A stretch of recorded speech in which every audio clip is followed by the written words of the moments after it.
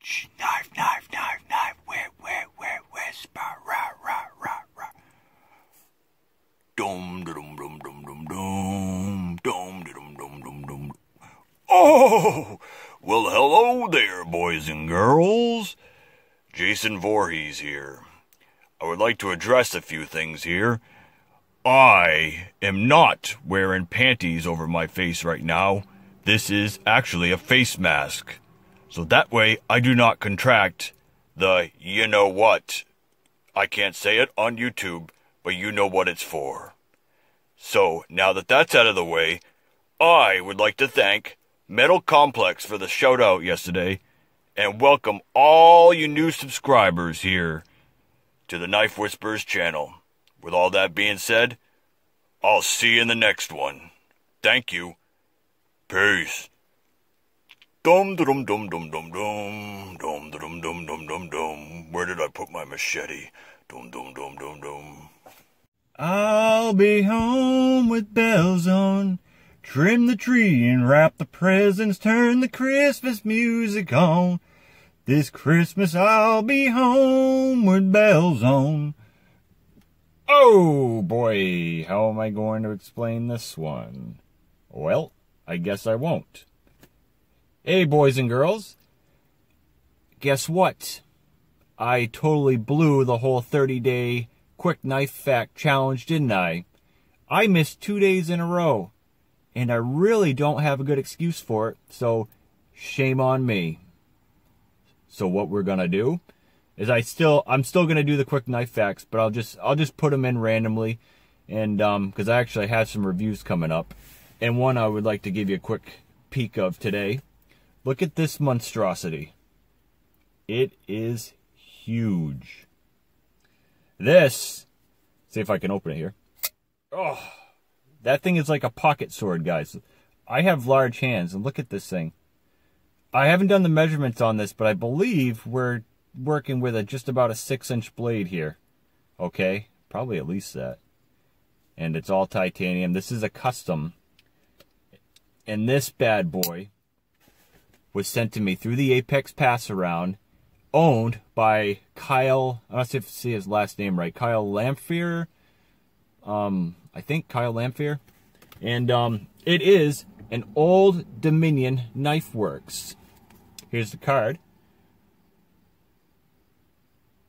It is the Lycan Slenderman Hybrid is the model. Steel is AEBL, and it is a battle stonewash finish. And it was born in July of 2020. So be on the lookout for this one in the next couple days so I can send it out to the next guys. Okay? So today's quick knife fact I know you guys will like this one. Everybody loves it. Micarta. Whoa! That's right. Micarta. Now, let me um throw some facts at you, and I'm going to pretend that I'm not reading it off a piece of paper. Okay? Now, micarta is a brand name for composites of linen, canvas, paper, fiberglass, and other fabric in a thermo setting plastic. Okay? That sounds very technical, thermosetting. I don't know what that is, but that is what I have uh, dug up in my extensive, uh, my extensive, um, what's the word I'm looking for? Um, research. Okay, and it was um, originally used in electrical and decorative applications. Micarta was developed by George Westinghouse now, a lot of you might have heard of um, Westinghouse micarta, and the stuff is um, it's there's not much of it left anymore. You know, it's like you'll find it in a lot of uh, customs, a lot of expensive knives. Um, it's very, very highly sought after. It's beautiful stuff. You know, um, uh, just amazing. Okay, so it was invented by George Westinghouse, and it was believed to first be used in 1910 using phenolic or phenolic resins. These resins were used to impregnate impregnate um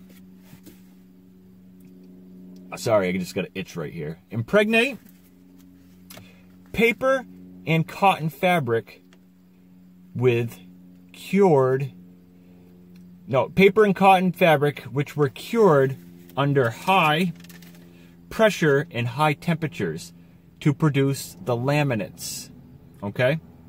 Now what are the pros of micarta well let me tell you it is fair, fairly durable and light it gives a great texture especially to like what we know it for like knife handles it gives a lot more texture in your handles than like um, carbon fiber does or G10. Uh, of course, you can mill that stuff too. But um, in its natural state, micarta just is more porous. It gives more texture, so you have a better grip in a knife handle. And um, it it adds like a warmth to the to the um, it has like an inherent warmth to it. So you know, like, like especially in the winter when you pull out your titanium knife or even your G10, sometimes you go to grab and it's cold. Okay, and um, micarta is great with absorbing heat from your body when it's in your pocket, okay? And um, so that is one of its many, many pros, okay? How about a con? In knife handles, it needs to be reinforced, okay? It's not as strong, hard, hardness wise, I guess, as um, as uh, carbon fiber is when you go to flex it. My Micarta will have a lot more give than uh, than carbon fiber does. Okay, so it has to be reinforced with like steel liners. Um, carbon fiber you can have just just two slabs of carbon fiber handles without reinforcing it. A lot of people still do it, but you don't have to with carbon fiber. And um, and it also can be hard to clean micarta because it is porous, so it will absorb your oils from your hands and whatever else gets on it. And um, you know it'll suck up any stains or oils and that can be a pain to clean. Of course you can clean it. But it can also be a, a pro because a lot of people like that those stains and it absorbing you know the oils from your hands because it becomes yours. It gives it that that um patina look. You know what i mean just in my micarta instead of copper or brass and that way it's your knife you know no other somebody else's micarta knife is going to be totally different because the oils in their hands is either less or more or different than yours. And you know, a lot of people like that. It's their signature of their knife. So um that is our quick lesson today in micarta. And again, I would like to thank all my new subs and I hope you guys stick around for all these fun shenanigans that uh I will torture you through and you might learn a little something you might know all this, and that's fine. But we're going to have fun with it, and I promise to bring great reviews to you and laughs. And I also will be um, having conversations with my co host here, Mr. Voorhees. You want to do a quick one? Okay. Oh, hey guys. Hope to see you in many, many more videos. And I thank you for your time. And we got the flex we got the hug, and we got the I'll see you in the next one. We'll see you in the next one, boys and girls. Peace.